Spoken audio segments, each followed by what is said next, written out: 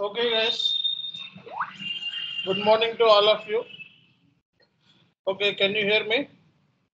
అందరికీ నా వాయిస్ వినపడుతుందా yes sir yes Yes, sir sir. Visible sir okay all right sir బేసిక్గా మనకి థర్స్డే నుంచి మనకి R to R classes start అవుతాయి okay Thursday starting date Thursday Thursday నుంచి మనకి R to R classes start అవుతాయి. సో ఇందులో ఎవరైనా ఆర్ టు ఆర్ క్లాసెస్ కోసం వచ్చిన వాళ్ళు ఎవరున్నారా ఆఫ్లైన్? రైజ్ యర్ హ్యాండ్ అందరూ కొత్త మీరు ఒక్కళ్ళేనా? ఓకే. మీరు ఆల్రెడీ ఇద్దరు వస్తారు కాబట్టి okay. Consultant okay so R to R క్లాసెస్లో ఉన్న వాళ్ళు జస్ట్ నాకు పక్కన రైస్ హ్యాండ్ అనే ఆప్షన్ ఉంది. దాన్ని క్లిక్ చేయండి ఒకసారి. So how many people recently join and looking for R to R jobs R to R సంబంధించి. వెళ్దాము అనుకున్న వాళ్ళు అంటే కొత్తగా జాయిన్ అయిన వాళ్ళు ఎవరున్నారు? R to R point of okay ముగ్గురు కనపడుతున్నారు. నలుగురా? శిక్షాపతి ఆల్రెడీ కాదు కొత్త వాళ్ళు కొత్త వాళ్ళు. కొత్త వాళ్ళు ఓన్లీ ఆర్ టూ ఆర్ ఇప్పుడు ఇప్పుడు కొత్తగా ఉన్న వాళ్ళు ఎవరు? Okay.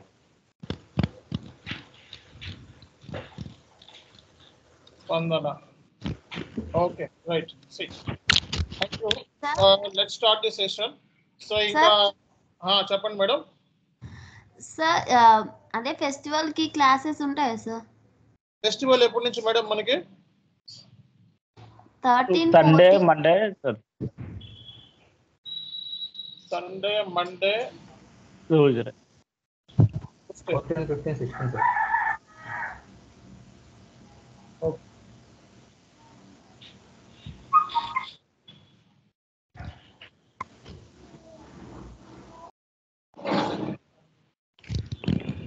Monday ట్యూస్డేనా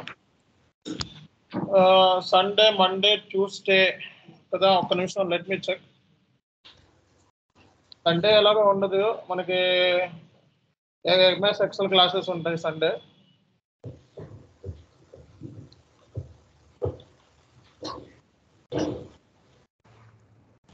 ఓకే మండే అంటే థర్టీనా fifteen sir fifteen okay fifteen okay Sunday ఎలాగో లేదు.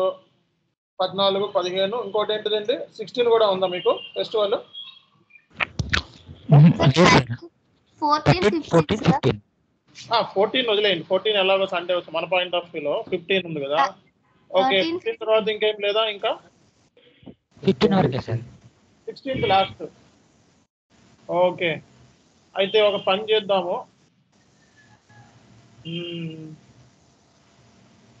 ఓకే సిక్స్టీన్త్ వరకు సెలవులు ఇచ్చేద్దాం. ఓకే సో మీకు థర్టీన్ ఫోర్టీన్ ఫిఫ్టీన్ సిక్స్టీన్ వరకు సెలవులండి. ఓకే అలాగే థర్టీన్ సాటర్డే సెలవు ఫోర్టీన్ సెలవు ఫిఫ్టీన్ సెలవు సిక్స్టీన్ సెవెంటీన్ ఉంటారా? వెళ్ళాలా? ఇంటికి వెళ్ళాలా ఎవరన్నా? ఎవరు వెళ్తారు అందరూ వెళ్తారా అమ్మో అమ్మో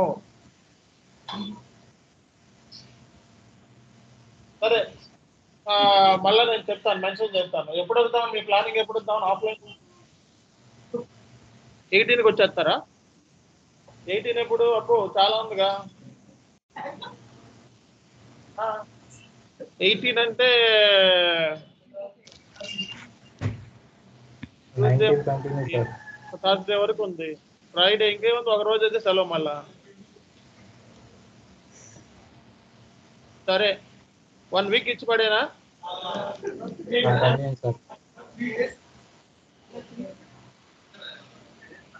త్రీ డేస్ చాలులే. ఓకే సో ఏం చేద్దామంటే సెవెంటీన్త్ వచ్చేస్తారా పోనీ? సెవెంటీన్త్ ఓకే ఒక రోజు ఆన్లైన్ క్లాస్ వెళ్ళండి అవసరమైతే ఆన్లైన్ పెట్టేద్దాం. ఓకేనా కొన్ని ఆన్లైన్ వాళ్ళకి చెప్తాం ఆల్రెడీ. మీకు ఆన్లైన్ పెడతాం ఏముంది అందులో ఓకే చెప్తానులే. ఆ రోజు నేను చేయాలని ఆ ఒక్క రోజుకి ఆన్లైన్ యాక్సెస్ ఇస్తాను. జాయిన్ అవ్వండి. ఓకే రైట్ చెప్తానులేండి ఓకే గైస్ మరి ఈరోజు టైప్స్ ఆఫ్ పేమెంట్స్ గురించి మనం డిస్కస్ చేయబోతున్నాము.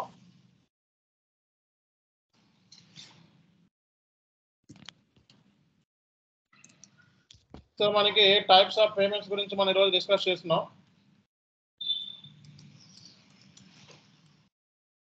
సో మాన్యువల్ పేమెంట్ ఉంది మనకి. So automatic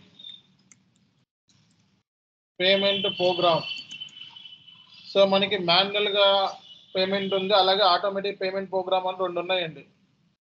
ఓకే సో మాన్యువల్గా పేమెంట్ చేసే ప్రాసెస్ ఉంది. అలాగే ఆటోమేటిక్గా కూడా మనం చేసే ప్రాసెస్ ఉంది. సో మాన్యువల్లోనే మనకి సో మాన్యువల్ పేమెంట్లోనే మనకి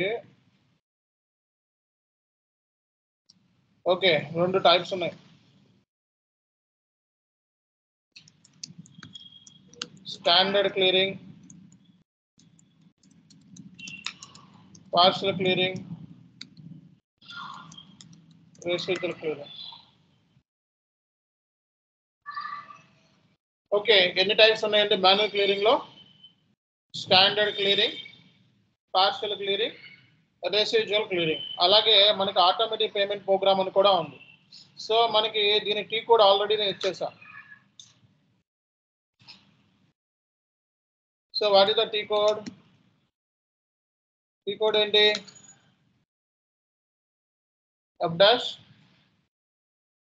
fifty three fifty త్రీనా F dash twenty eight F dash twenty eight last time చేసాం మనం F dash twenty eight okay అలాగే మనకి automatic payment program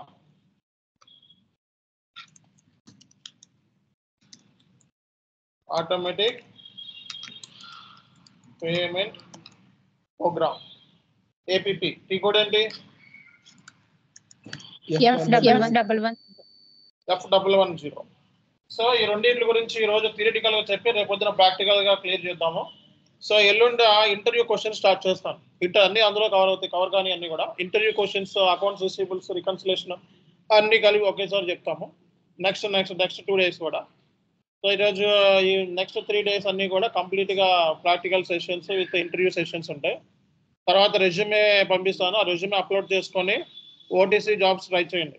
okay. So already ఇప్పుడు వెళ్ళినా ఓకే ఓటీసీ జాబ్ వస్తుంది కన్ఫామ్. ఓకే గైస్ మరి just like ఒక idea ఇస్తాను మీకు. మాన్యువల్ పేమెంట్ స్టాండర్డ్ క్లియరింగ్ అంటే ఏంటి? సో మాన్యువల్ పేమెంట్లో మనకి త్రీ టైప్స్ ఉన్నాయి. Partial clearing standard clearing partial clearing అలాగే రెసిప్టల్ క్లియరింగ్ అని చెప్పి మనకి మూడు ఉన్నాయండి. ఓకే. సో స్టాండర్డ్ క్లియరింగ్ అంటే ఏంటి అనేది చూద్దాం ఫస్ట్. సో ఇప్పుడు ఇన్వాయిస్ ఉంది. సో ఇన్వాయిస్ సో ఇన్వాయిస్ ఉంది లక్ష రూపాయలు. ఓకే ఇన్వాయిస్ ఉంది లక్ష రూపాయలు. పేమెంట్ కూడా lakh. So invoice lakh payment lakh. Invoice lakh payment lakh. దీన్ని ఏ క్లియరింగ్ అంటాం? Standard clearing. సో ఫుల్కి ఫుల్ ఓకే పార్షల్ క్లియరింగ్ ఏంటో చూద్దాం. Partial క్లియరింగ్లో so invoice lakh.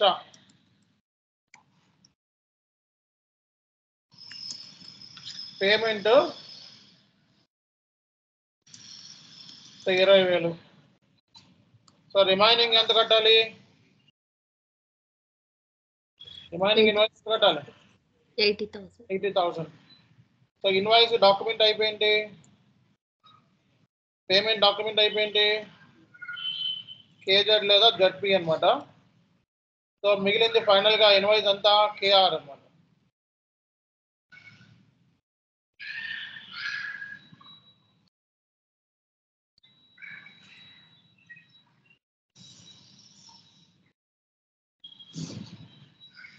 Okay so next ఏంటంటే రెసిడ్యువల్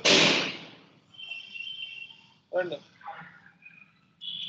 మేడం కూర్చోండి class so residual clearing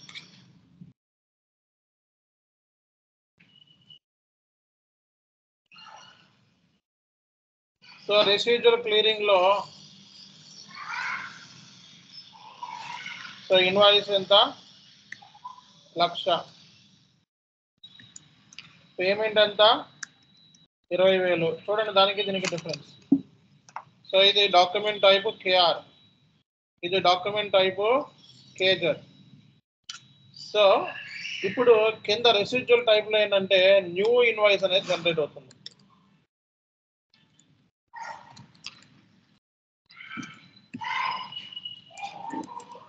so residual క్లియరింగ్లో difference ఏంటి? న్యూ ఇన్వాయిస్ ఇక్కడ న్యూ ఇన్వాయిస్ కాదు. ఇక్కడ న్యూ ఇన్వాయిస్ అనేది జనరేట్ అవుతుంది రెసిడ్యూల్ క్లియరింగ్లో. సో రెసిడ్యూల్ క్లియరింగ్లో మనకి న్యూ ఇన్వాయిస్ అనేది జనరేట్ అవుతుంది. సారీ ఇవన్నీ డాక్యుమెంట్ టైప్ డిఆర్ కదా కస్టమర్ కదా మనం చేస్తుంది. ఎవరు మాట్లాడిన కూడా మాట్లాడుతున్నా DR document type DR DZ D అంటే కస్టమర్ అండి. ఓకే డి అంటే కస్టమర్ అని.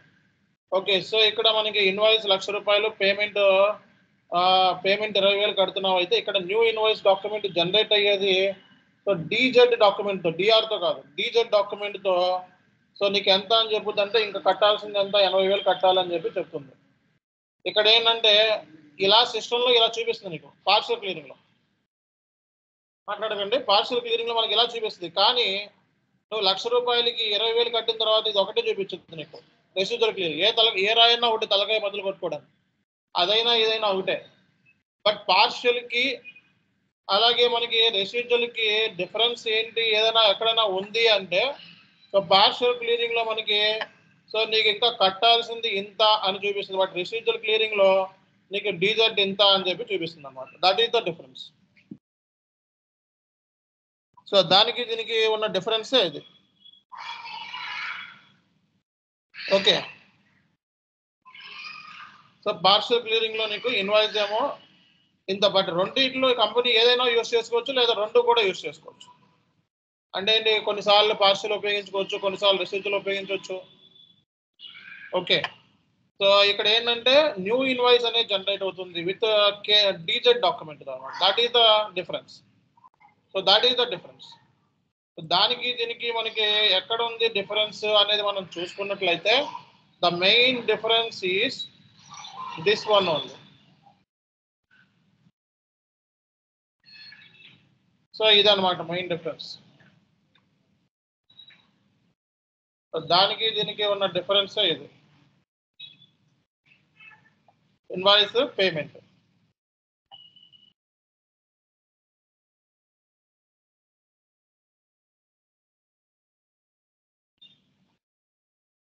ఓకేనా?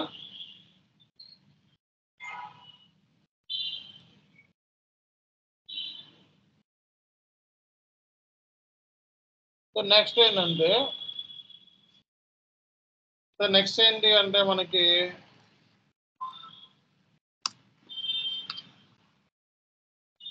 ఇది పార్షియల్ అయిపోయింది ఇది రెసిడ్యూల్ అయిపోయింది. మూడో పాయింట్ ఏంటంటే మనం తెలుసుకోవాల్సింది ఆటోమేటిక్ పేమెంట్ ప్రోగ్రామ్. సో ఇది మాన్యువల్లో మనకి టైప్స్ మాన్యువల్లో ఎన్ని టైప్స్ ఉన్నాయి? స్టాండర్డ్ క్లియరింగ్ పార్షియల్ క్లియరింగ్ అలాగే రెసిడ్యువల్ క్లియరింగ్. అలాగే మనకి ఆటోమేటిక్ ఏపీపీలో ఏముంది? Automatic payment program. So automatic payment program.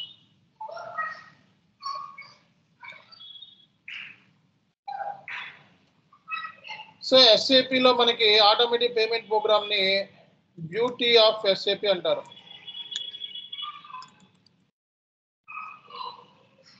So automatic payment program ఏమంటారండి? Beauty of SAP beauty of SAP అంటారు.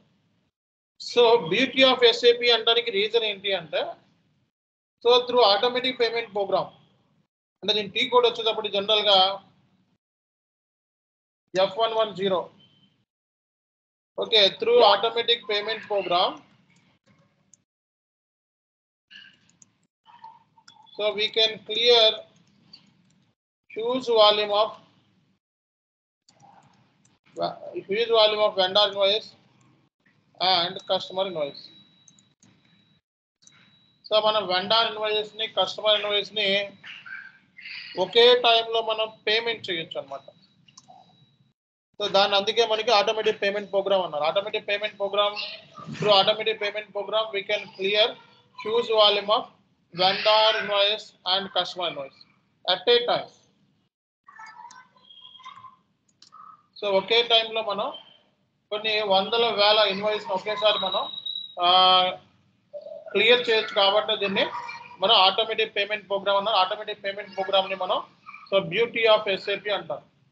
సో ఎస్ఏపిలో లో ఇది మనకి బ్యూటీ అనమాట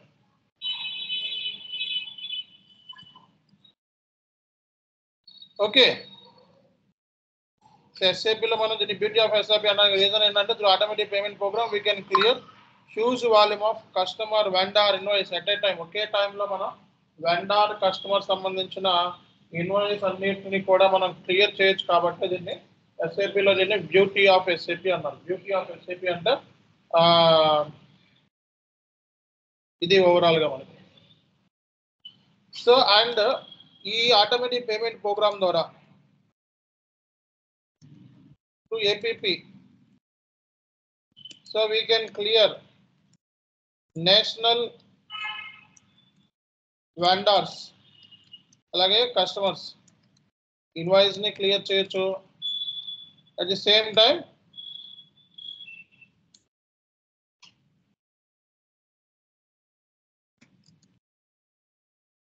at the same time we can clear so domestic and international international vendor invoice ని అలాగే customer ఇన్వాయిస్ని కూడా మనం క్రియేట్ చేయొచ్చు అన్నమాట ఓకే ఇది ఇందులో ఉన్న ఇంపార్టెంట్ పాయింట్ అంటే ఒకేసారి మనం మల్టిపుల్ అంటే వెండార్కి కస్టమర్కి అంతకుముందు డిఫరెంట్ టీ కోడ్స్ ఉన్నాయి. Vendor has different T code customer has different T code వెండార్కి కస్టమర్కి మనకి డిఫరెంట్ టీ కోడ్స్ అనేవి ఉన్నాయండి. వెండార్ కస్టమర్కి డిఫరెంట్ టీ కోడ్స్ ఉన్నాయి okay through APP we can clear national vendors customer invoice at the same time at the same we can clear international vendors customer invoice కూడా clear చేయొచ్చు అనమాట okay so ఇది మనకి first point automatic payment program we can clear huge volume of vendor invoice and customer invoice at the time so automatic payment program we can clear national vendors customer invoice at the same time we can clear so international vendor invoice and customer invoice కూడా మనం ఎస్ఐపిలో create అనేది చేయొచ్చు. So ఇది మనకి first point okay so ఇది first point మనకి.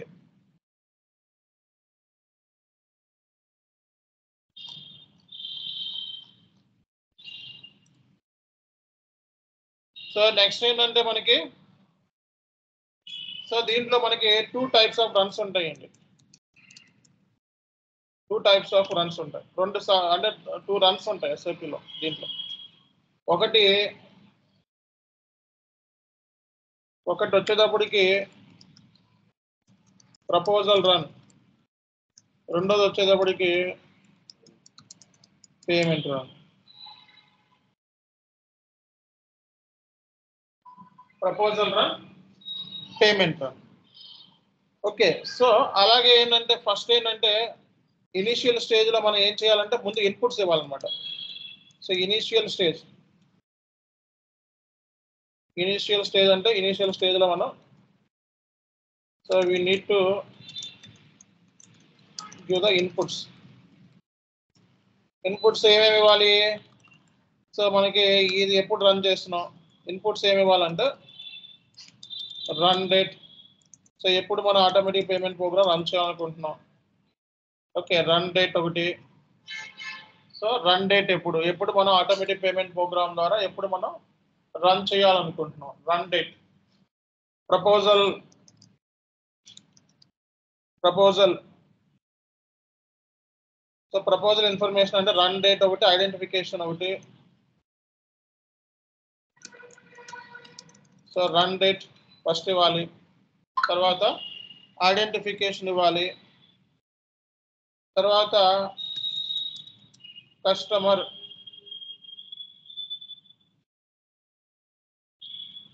Run date identification తర్వాత కస్టమర్ కస్టమర్ నెంబర్ ఇవ్వాలి. తర్వాత పేమెంట్ మెథడ్స్ ఇవ్వాలి. ఓకే మళ్ళీ నెక్స్ట్ పేమెంట్ డేట్ కూడా ఇవ్వాలన్నమాట. సో ఈ ఆల్ ఇన్పుట్స్ మనం ఇచ్చి సిస్టమ్కి చేస్తే అప్పుడు ఏంటిది? సిస్టమ్ ఏం చేస్తుందంటే once we give all these inputs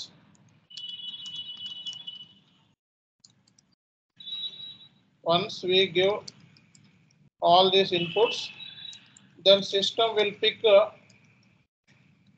due or overdue invoice. Okay సిస్టానికి ఇవ్వాల్సిన ఇన్పుట్స్ ఏంటండి చెప్పండి. సిస్టానికి ఇవ్వాల్సిన ఇన్పుట్స్ ఏంటి run date identification customer payment method next payment date so ఈ ఆల్ ఇన్పుట్స్ అనేవి మనం ఇచ్చినట్లయితే సిస్టమ్ ఏం చేస్తుంది? డ్యూ లేదా ఓవర్ డ్యూ ఇన్వాయిస్ని సిస్టమ్ అనేది పిక్ చేస్తుంది అనమాట so once we give all these inputs then system will pick due or overdue invoices system ఒకసారి మనం ఈ ఆల్ ఇన్పుట్స్ ఇస్తే మన సిస్టమ్ ఏం చేస్తుందంటే డ్యూ లేదా ఓవర్ డ్యూ ఇన్వాయిస్ని సిస్టమ్ ఏం చేస్తుంది? పిక్ చేస్తుంది అనమాట సో ప్రపోజల్ రన్లో system proposal run system will pick due or overdue invoices so payment రన్లో system clear all the due or overdue invoice ఇది జరిగే పరిస్థితి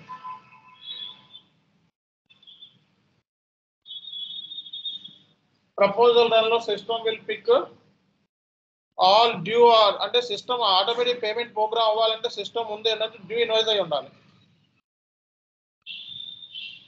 ఓకే అసలు ముందు ఆటోమేటిక్ పేమెంట్ ప్రోగ్రామ్ అవ్వాలంటే సిస్టమ్ ఇన్వాయిస్ ఏమై ఉండాలి? So automatic payment program apply అవ్వాలి అంటే ఫస్ట్ సిస్టమ్ అనేది ఏం చేయాలి? డ్యూ లేదా ఓవర్ ఇన్వాయిస్ని పిక్ చేయాలి. సో పేమెంట్ చేయాలంటే system clear all the due or overdue invoice అన్నమాట ఇనిషియల్ స్టేజ్లో ఏమేమి ఇవ్వాలంటే మనం run date identification customer information payment methods next payment date once we give all these input then system will pick due or overdue invoice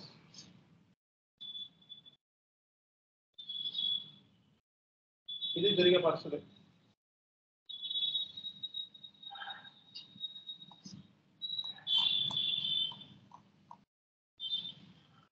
ఓకేనా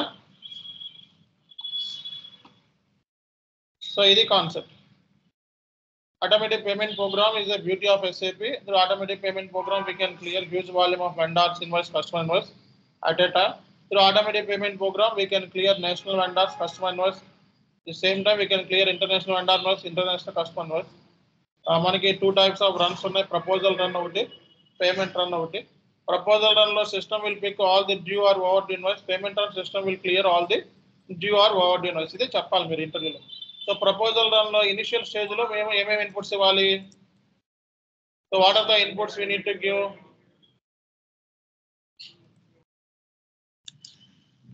చెప్పాలి. So initial స్టేజ్లో మనం ఏమేమి ఇన్పుట్స్ ఇవ్వాలండి?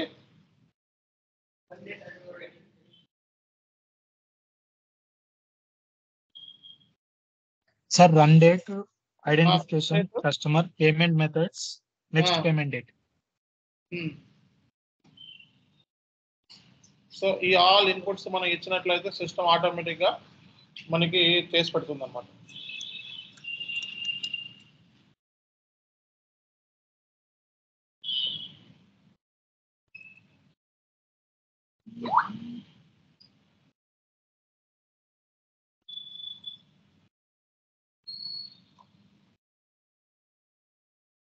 ఓకే సో ఈ ఆల్ ఇన్పుట్స్ అనేవి first సిస్టమ్కి ఇచ్చినట్లయితే సిస్టమ్ ఏం చేస్తుంది? డ్యూ లేదా ఓవర్ ఇన్వాయిస్ని సిస్టమ్ అనేది పిక్ చేసుకొని దాని తర్వాత ఏం చేస్తుంది అండి పేమెంట్ అనేది చేస్తుంది అనమాట ఇది concept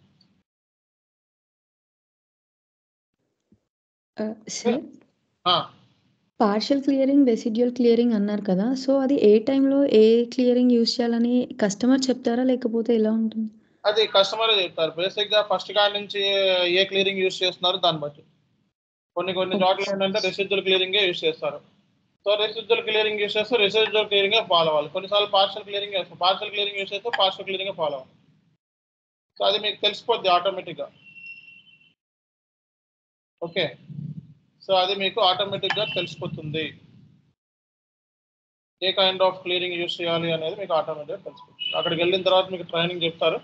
సో వన్స్ వాళ్ళు కొన్ని ఇన్పుట్స్ ఇచ్చిన తర్వాత సో ఏది యూస్ చేయాలి అనేది ఆటోమేటిక్గా తెలిసిపోతుందండి. ఇంకా ఏమైనా డౌట్స్ ఉన్నాయా మీకు? సార్ ఇంకొకటి లా ఫ్రైడే రోజు డౌన్ పేమెంట్లో సినారియో వన్ చెప్పారు. సినారియో టూ చెప్తా అన్నారు కదా చేస్తాను so I will discuss that scenario link చేస్తాను దీంతో. టుమారో క్లాస్లో లింక్ చేస్తాను ఈరోజు ప్రాక్టికల్ కాకుండా థియేటికల్ సెషన్ చెప్తా. ఒక idea okay sir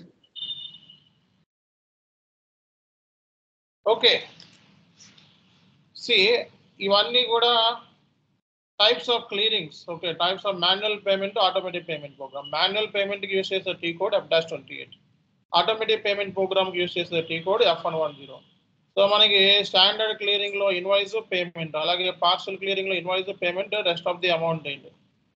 క్లియరింగ్లో ఏముంది?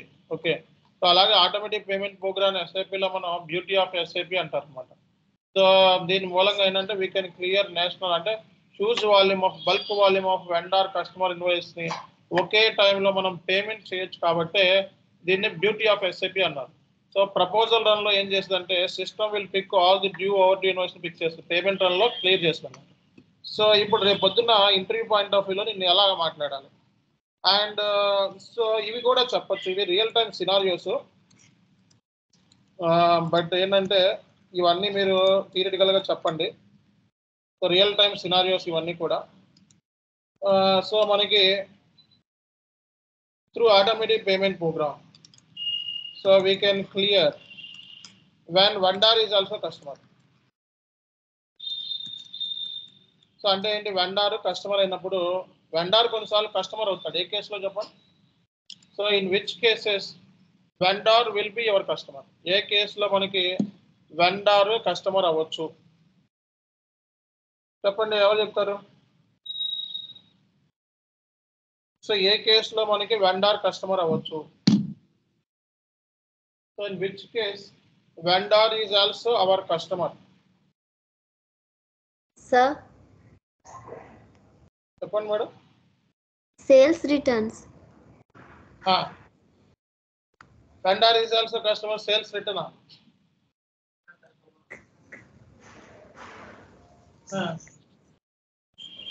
so ఎవరి దగ్గర అయితే నువ్వు మెటీరియల్ కొంటావో మళ్ళీ వాడికి అమ్మేసావు అనుకో is vendor is also your customer okay. So ఎవరికైతే ఎవరి దగ్గర నుంచి అయితే మెటీరియల్ కొంటావో ఆ మెటీరియల్ కొని దాన్ని ఫినిష్ ప్రోడక్ట్ కింద మార్చి దాన్ని మళ్ళీ అదే మెటీరియల్ వాళ్ళకి అమ్మేసాం అనుకో దాని వెండార్ ఈజ్ ఆల్సో కస్టమరే కదా. వెండారే కస్టమర్ అవుతాడు ఆ కేసులో సో అలాంటి పేమెంట్స్ అలాంటి payments so automatic payment program ద్వారా కూడా మనం క్లియర్ చేయొచ్చు అండి. ఓకే. అలాగే credit memo credit memo and debit memo payments. కూడా మనం ఆటోమేటిక్ పేమెంట్ ప్రోగ్రామ్ ద్వారా క్లియర్ చేయొచ్చు. అలాగే intercompany transactions. So intercompany transactions అంటే ఏంటి చెప్పండి ఎవరు చెప్తారు? ఇంటర్ కంపెనీ ఇన్వాయిస్ ఉంటాయి. సో అవి కూడా మనం ఏపీపీ ద్వారా క్లియర్ చేయొచ్చు. సో ఇంటర్ కంపెనీ అంటే ఎవరు చెప్తారు?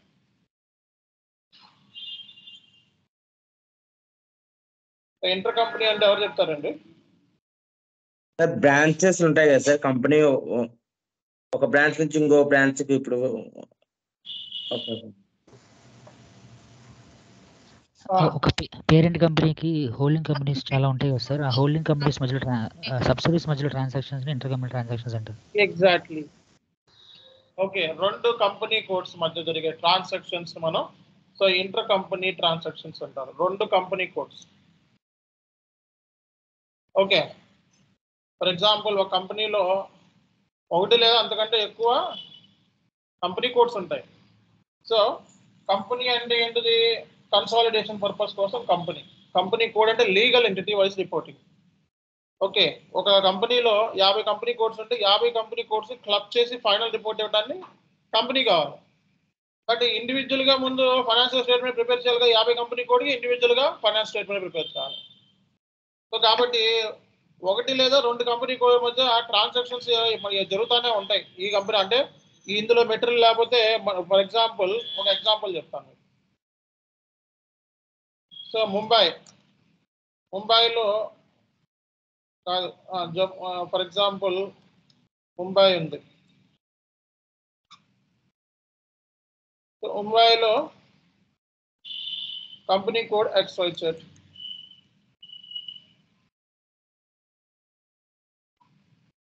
అలాగే ఢిల్లీ అని ఉంది.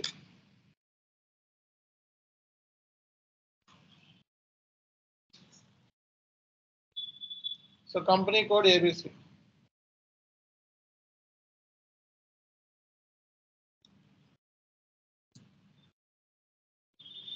రెండు company codes.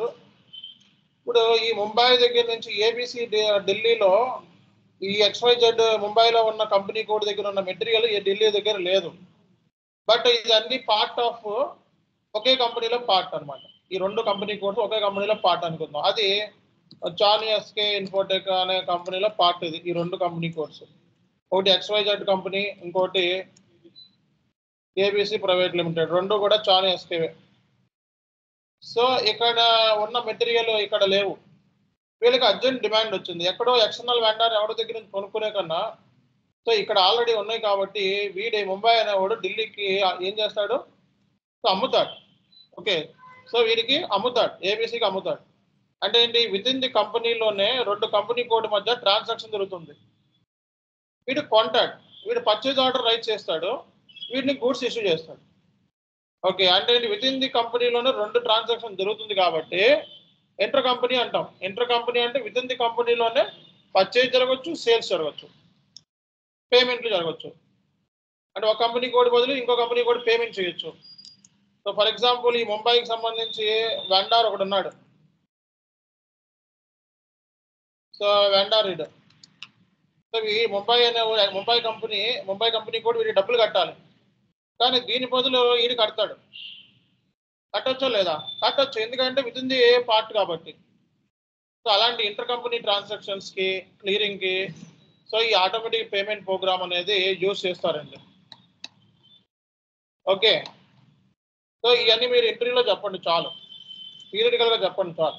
So automatic payment program we can clear when vendor is also customer credit debit memos clear చేయడానికి ఇంటర్ కంపెనీ ట్రాన్సాక్షన్స్ క్లియర్ చేయడానికి అలాగే మనకి పార్సల్ క్లియరింగ్ చేయడానికి అంటే సగం సగం క్లియరింగ్ కూడా ఆటోమేటిక్ పేమెంట్ ద్వారా చేయొచ్చు అనమాట పార్సల్ క్లియరింగ్ చేయడానికి అలాగే ఇంకా మనకి చాలా ఇంపార్టెంట్ జిఎస్టి uh, అలాగే విత్ హోల్డింగ్ ట్యాక్స్ సంబంధించిన ఇన్వాయిస్ని క్లియర్ చేయడానికి కూడా సో ఈ ఆటోమేటిక్ పేమెంట్ ప్రోగ్రామ్ని యూజ్ చేస్తారు. అర్థమైందా? అర్థం కాలేదా?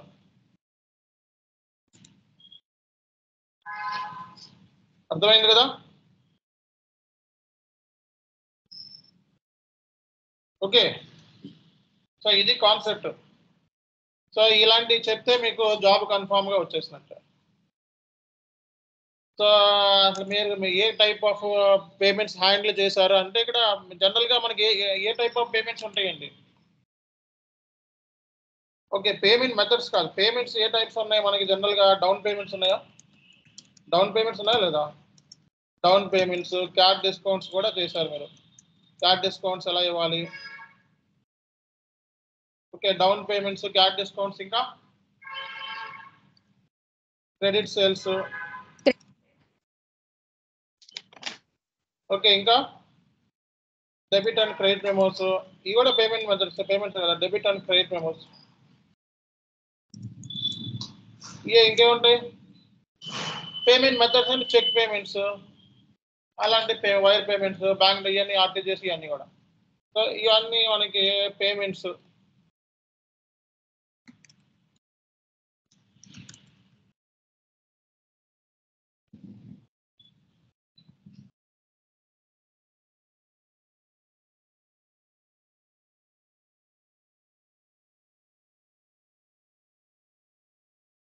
Okay. Okay, guys. So today I would like to tell about the complete payment process in SAP system. Okay. So I already told you, so we have two types of payment or payments. One is manual payments and automatic payment program. So last class we clearly discussed about what is manual payment and what kind of T codes generally used for down payments we already discussed these things in the last session. Okay, in today's session, I'm just giving overall idea regarding the types of payments and uh, what is the usage. So here, you just understand that the manual payments can be classified as standard clearing, partial clearing, and residual clearing. So three types of clearings we have. This is common business practice. Every company uh, will use this kind of uh, payment types in everyday business. Okay, for automated payment program, you want to clear bulk volume of vendor customer invoice. See, bulk volume, huge volume of vendor customer invoices. So you have thousand invoices you want to clear at a time. Then which method should be used, manual or automated payment program? So automatic payment program should be used. So here standard clearing. Standard clearing means full clearing. So if invoice value is uh, 1 lakh rupee, you want to clear 1 lakh rupee, that is standard clearing. Okay, standard clearing means you want to clear full amount, then standard clearing should be used. And partial clearing is nothing but, so you want to clear half amount, okay, or uh, some amount, it's not full. Then it's a partial clearing. So partial clearing system will show like this. So invoice value this amount, and uh, payment value this amount and total value this amount. This is completely invoice. So in uh, in FB in FB L5N reports we can see like that. The partial clearing is nothing but the same thing. Either you can use the partial clearing or residual clearing. It's a company choice or both can be used. Okay. But if you start the partial clearing, you can only use the partial clearing. If you start residual clearing, you can use only residual clearing for particular invoice. Okay. So don't uh, confuse like a partial clearing at a time or you are using and same again uh, you repeatedly you are using residual clearing that will not work out. So here residual clearing is nothing but the invoice is this amount and payment is this amount. But the difference between partial and residual clearing is uh, here the new invoice will be generated with the payment document type, DZ document. So here it's showing system will show like this, but uh, in case of uh, residual clearing, system will only show this. Okay, system will only show this. New invoice will be generated with the document type DZ. So now we discuss about what is automatic payment program. So automatic payment program is called as a beauty of SAP. So in SAP, huge volume of vendor customer invoice will be there. So we want to clear this vendor customer invoice at a time. Then we can use the automatic payment program. Okay, so we can clear national vendors customer invoice at the same time. We can clear international vendors and customer invoice. So two types of runs we will see in the automatic payment program. So proposal run and payment run. The proposal run means system will pick all the due or overdue invoice. The payment run system will clear all the due or overdue invoice. So at the initial stage, so at the time of automatic payment program, we will have to give these inputs like a run date, identification, customer number, payment methods, next payment date. All these inputs we need to give. Okay. So once you give these inputs, then system will pick due or overdue invoice of the particular vendors customers. Okay, but at the initial stage, so we will have to give these inputs to the system. Then in the proposal run, system will pick all the due or overdue invoice and in the payment run, system will clear all the uh, due or overdue invoices. Okay, so you want to apply automatic payment program to invoice, then invoice should be due. Okay, invoice should be due. If invoice is not due, then we can clear, we can, cannot, we cannot clear the automatic payment program.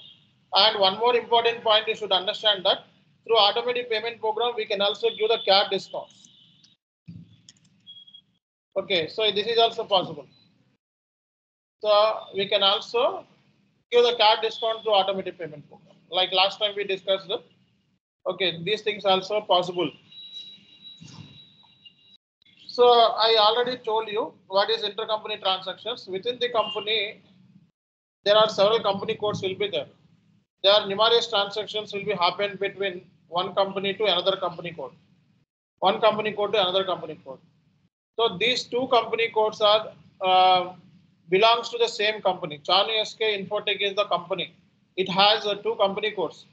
Uh, so operations are uh, from Mumbai and operations from Delhi. Okay, so initial stage.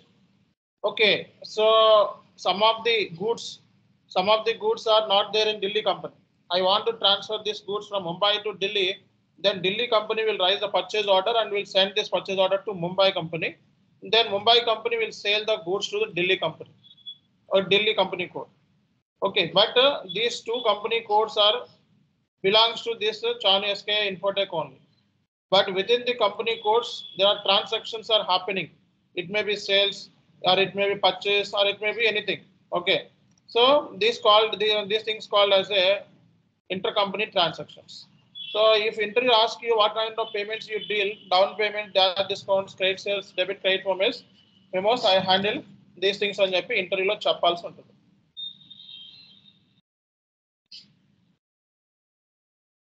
Got my point okay ఇలా చెప్పాలి మీరు ఇలా దీని గురించి ఒక పదిహేను నిమిషాలు మాట్లాడితే ఓకే ఇన్కమింగ్ పేమెంట్స్ ఇలా హ్యాండిల్ చేశానని చెప్తే చాలు. పదిహేను నిమిషాలు మాట్లాడలేరా? ఆ? ఇది ప్రిపేర్ అవ్వడానికి ఎన్ని రోజులు పడుతుంది ఇంగ్లీష్లో ఇది థియరిటికల్గా గా ఇంగ్లీష్లో ప్రిపేర్ అవడానికి ఎన్ని రోజులు పడుతుంది? ఎవరు చెప్తారు?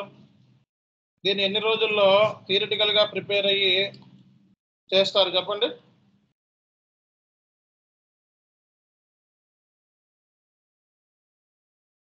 చెప్పాలి.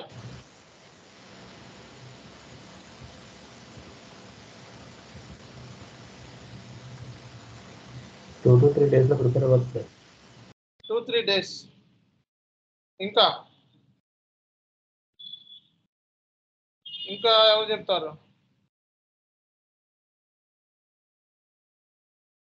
ఇది ఇంకా ప్రిపేర్ అవడానికి ఇంకా ఎన్ని రోజులు పడుతుంది?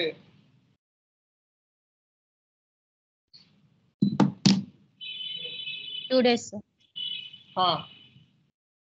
two days more than sufficient one or two days okay దీన్ని ఇంగ్లీష్లో ఎవరు మాట్లాడతారు నెక్స్ట్ క్లాస్లో? వితౌట్ స్టాపింగ్ దీన్ని వన్ మినిట్ మాట్లాడాలి. ఎవరు మాట్లాడతారు? సార్ యాక్చువల్లీ వాంట్ అంతే సార్ దిస్ ఇస్ నైస్ మీరు చెప్తారా?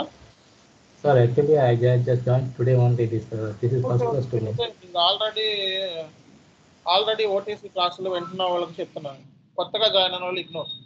ఓకే మాట్లాడగలను అనుకుంటే నో ప్రాబ్లం. మాట్లాడచ్చు. ఆల్రెడీ జాయిన్ అయిన వాళ్ళకి నేను అడుగుతుంది జనరల్గా. I will try, sir. Okay you will I will, sir. Okay. I will also say so. I okay.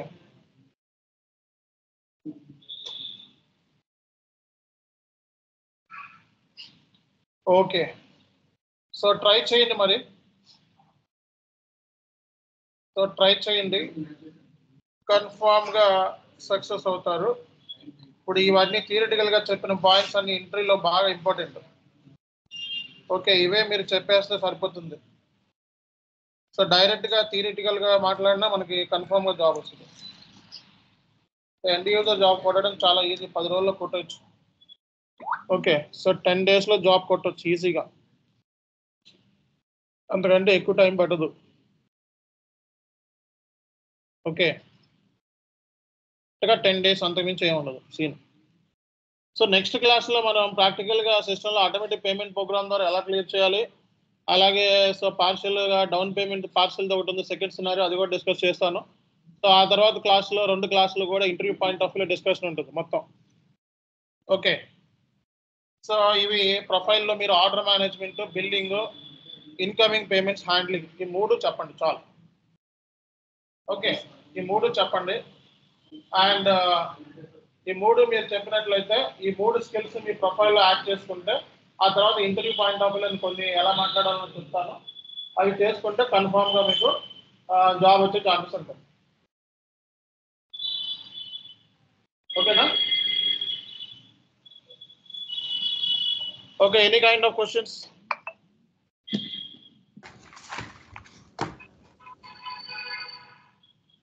so ఇంకా ఏమైనా క్వశ్చన్స్ ఉన్నాయా?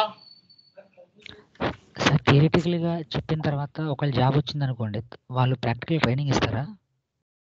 ఓన్లీ ఎండ్ యూజర్ అంటే ఎండ్ యూజర్ పాయింట్ ఆఫ్ వ్యూలో మాట్లాడాలి. కన్సల్టెంట్ అంటే మళ్ళా వాడి డౌట్ వచ్చింది నువ్వు చేయలేదేమో ఓన్లీ ఎండ్ యూజర్ అంటే ఎండ్ యూజర్ ట్రాన్సాక్షన్స్ గురించే మాట్లాడాలి. కన్సల్టెంట్ అనే పాయింట్ యూజ్ చేయకూడదు. టెక్నికల్ టీమ్కి ఇచ్చానని చెప్పాలి ఇష్యూ వచ్చినప్పుడు ఏంటంటే ఎవరో మాట్లాడుతున్నారు?